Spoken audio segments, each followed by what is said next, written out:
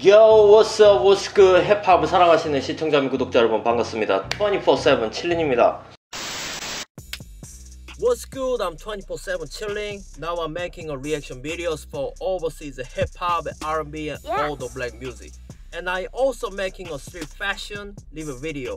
If you like my channel, please subscribe, like, and notification. You already know. 24/7 chilling. 어제부터인가요? 저희 채널에 이 래퍼의 reaction video를 만들어 달라는 댓글 뭐 저 인스타그램 DM 뭐 진짜 많이 받았거든요 아니, 도대체 누구길래 이렇게 많이 들어오는 거지 싶었는데 LK Lil Knight 라는 래퍼입니다 근데 이분이 익숙한 거예요 자세히 보니까 어? 이 사람 그분 아니에요? 그 King of Rap의 심사위원? 코치? 프로듀서? 아무튼 그분이죠 이분의 뮤직비디오가 올라왔다는 겁니다 하노이진? 하노이진이라는 곡인데 해석해보니까 좋은 하노이란 뜻이더라고요. 제가 이 곡에 대해서 조금 찾아보니까 세상에 작년에 나왔던 앨범의 수록곡인데 뮤직비디오가 이제 공개가 된 겁니다. 자, 저는 이 LK라는 래퍼에 대해서 잘 몰라요. 특히 거기 출연하는 이제 심사위원으로 앉아있는 사람 중에는 댄매니악 말고는 사실 알, 아는 사람이 없기 때문에 오히려 잘 됐어요. 그래서 이번 시간에 이 LK Lil Knight라는 래퍼가 누군지 알아보는 시간을 갖도록 하겠습니다. 어, 가사를 해석을 해보니까 어, 이분은 가사가 되게 visualizing 있게 가사를 잘 쓰시더라고요. 저는 그런 가사를 좋아해요. 어떤 가사를 이렇게 읽었을 때 머릿속에 아 지금 이곳은 이런 상황이고 이 래퍼는 지금 무엇을 하고 있고 어떤 lifestyle을 살아가면서 보내고 있는지에 대해서 뭔가 이렇게 디테일한 표현들이 들어간 가사를 보니까 되게 좋더라고요. 특히 이 래퍼가 하노이를 약간 represent 하는 가사인 것 같아요. 뭐 친구들하고 같이 밥을 먹고 클럽에 가서 즐기고 약간 그런 것들? 예, 네, 그리고 길거리에 이제 자기 친구도 hood, hood와 만나고 뭐 약간 이런 것들 있죠. 그러니까 뭔가 평상시에 우리가 하노이에서 이런 lifestyle을 영위하면서 지내고 있다. 뭐 약간 이런 느낌을 보여주는 곡인 것 같습니다.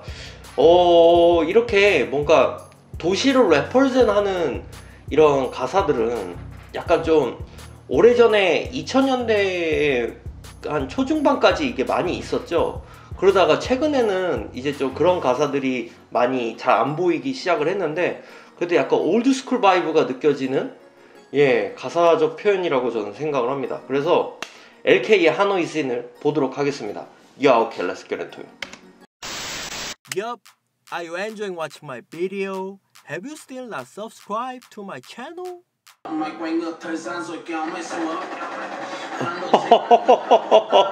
와 연출 뭐야 이거 야 이거 약간 투드 cypher 제가 reaction video 했잖아요 투드 cypher video랑 약간 연출 느낌이 비슷한 것 같아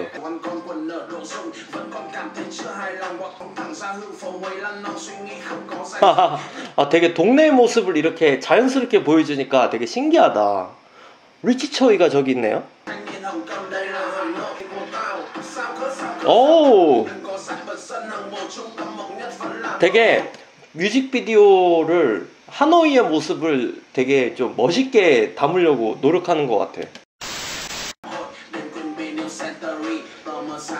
목소리는 되게 돕해요.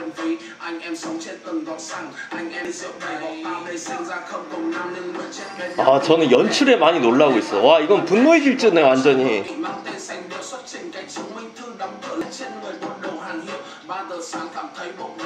어 맞아 베트남 이렇게 유튜브에서 보면은 저렇게 노상에서 밥 먹는 거 되게 많잖아요. 저런 거 보면 되게 흥미로워 보여.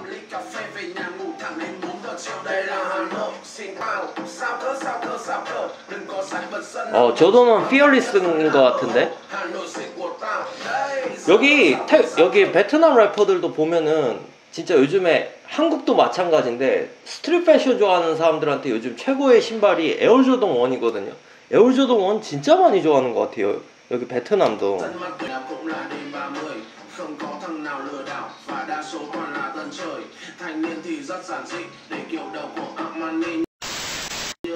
곡이 일정한 바이브로 되게 이렇게 유지 유지되면서 흘러가는 게 좀 신기하다.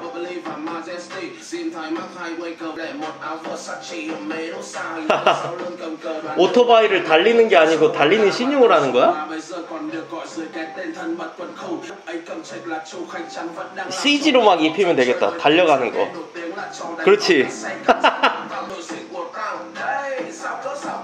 뭔가 미국 힙합의 vibe라기보다는 음악 자체는 약간 좀 originality에 가깝게 만들려고 한 것 같지만 연출은 되게 베트남의 로컬 분위기로 완전히 좀 많이 담으려고 하는 것 같아요. 응. 음? 진짜 이거는 연출이 너무 기가 막히다. 와. 그 베트남 가옥들 사이에서 이렇게 막 후드들 같이 서 있고 오토바이 타고 지나가는 장면들이라든가 아까 뭐 차량 이렇게 드리프트 하면서 지나가는 장면이라든가 되게 좀 연출들이 되게 저도 뭐 한국 힙합 뮤직비디오, 미국 힙합 뮤직비디오, 뭐 아시아 전반의 힙합 뮤직비디오를 보지만 어 되게 연출하시는 분이 자신의 스- 스타일이 확고히 있어요. 저는 그게 색깔이 확실하게 있어 보여서 되게 이 뮤직비디오가 좋아 보여요. 그리고 좀 흥미로운 거는 힙합이라는 음악 자체가 본토가 미국이다 보니까 많은 래퍼들이 미국 힙합의 영향을 안, 안 받을래야 안 받을 수가 없어요. 그래서 미국 힙합스러운 음악들을 많이 내놓으려고 노력을 하는데 비디오 자체는 뭔가 하노이의 어떤 그런 모습들을 온전히 담으려고 한 느낌? 그래서 되게 그런 것들이 잘 좀 융합이 돼서 뮤직비디오가 좀 새롭게 그러니까 음악도 새롭게 들리는 거예요. 어 이거 너무 좋은데? 이거는 무조건 음악 들을 때 비디오를 꼭 봐야겠어요. 비디오를 봐야 더 감동이 좀 즐길 수 있는 게 배가 될 것 같아. 자, 여러분들의 의견은 어떠신지 모르겠습니다. 의견이 있으시면 댓글로 남겨주시고 저희 24-7 채널이 마음에 드시면 구독, 좋아요, 알람 설정을 해주세요. 저는 다음에도 재밌는 영상으로 다시 돌아오겠습니다, 여러분. 감사합니다. You want to watch more videos,